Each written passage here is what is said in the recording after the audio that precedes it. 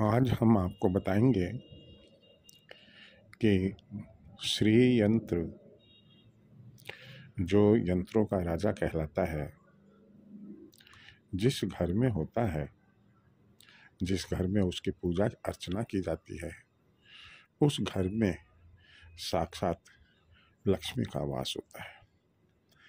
ऐसा क्यों? इसके पीछे एक पौराणिक कथा प्रचलित है कि एक बार माँ लक्ष्मी रुष्ट होकर बैकुंठ धाम चली गई और पृथ्वी पर त्राहीमान त्राहीमान होने लगा।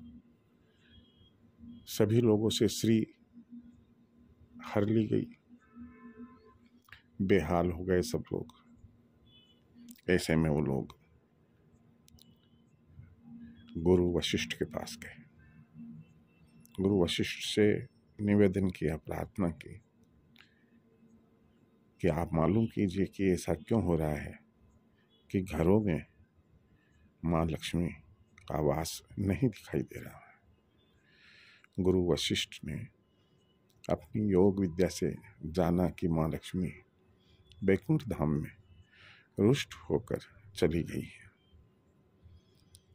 गुरु वशिष्ठ ने कहा, ठीक है, मैं इस संबंध में कुछ करता हूँ।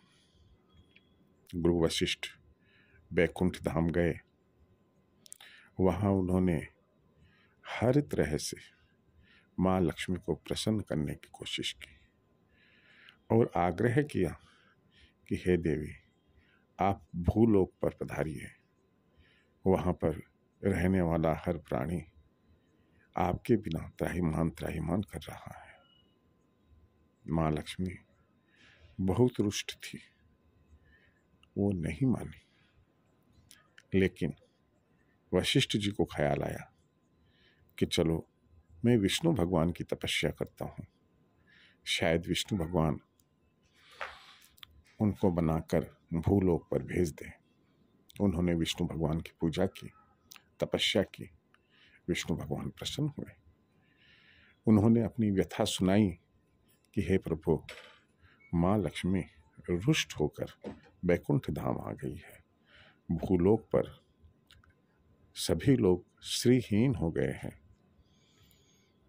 आप इन्हें किसी भी तरह से वापस भेजिए। भगवान विष्णु ने बहुत अनुनय विनय किया, लेकिन माँ लक्ष्मी इतनी रुष्ट थी कि वो किसी भी हाल में भूलोक पर जाने के लिए तत्पर नहीं हुई। गुरु वशिष्ठ का यह प्रयास भी निष्फल हुआ। वे भूलोक पर आए, ऋषियों से मंत्रणा की। देवों के गुरु बृहस्पति भी थे। उन्होंने कहा कि माँ लक्ष्मी को भूलोक पर लाने का केवल अब एक ही तरीका है। सबने उत्सुक, उत्सुकता से पूछा, बताइए कौन सा तरीका है वो?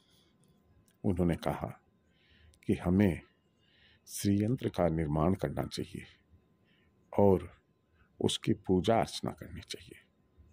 यही एक तरीका है। पहली बार श्रीयंत्र कैसे बनता है?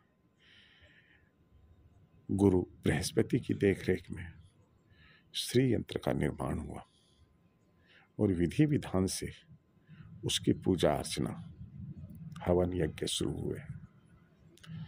पूजा अर्चना पूरी हुई भी नहीं कि तब तक माँ लक्ष्मी भूलोक पर वहाँ जहाँ श्रीयंत्र की पूजा हो रही थी प्रकट हुई। सबने आश्चर्य से देखा। तब उन्होंने कहा, देखो ये श्री यंत्र मेरा आधार है और श्री यंत्र में मेरी आत्मा का वास होता है। जहाँ श्री यंत्र की पूजा होती है, उस घर से, उस लोक से मैं कभी भी अलग नहीं रह सकती हूँ। तब से अब तक श्री यंत्र की यह महिमा बनी हुई है और हम मनुष्य, अगर इसकी स्थापना करना चाहते हैं। तो श्रेष्ठ समय तो दीपावली का समय होता है, जब बाज़ार से हमें चांदी का या तांबे का श्री यंत्र लाकर माँ लक्ष्मी के साथ में विराजित कर उसकी स्थापना करनी चाहिए, जहाँ तक हो सके। चांदी का श्री यंत्र सर्वश्रेष्ठ रहता है। उसके बाद रोज़ाना, प्रतिदिन ठीक वैसे ही श्री यंत्र की। पूजा, धूप बत्ती करें, जैसे कि हम अन्य देवी देवताओं की करते हैं। फिर देखिए, आपका घर, आपका व्यापार, धन धान्य से भरपूर रहेगा। चारों तरफ़ सुख समृद्धि रहेगी। यह है श्री यंत्र की बहुत बड़ी महिमा है, और हम ये कह सकते हैं कि जहाँ श्री यंत्र है वहाँ माँ लक्ष्मी का वास होता है। जय श्री कृष्ण।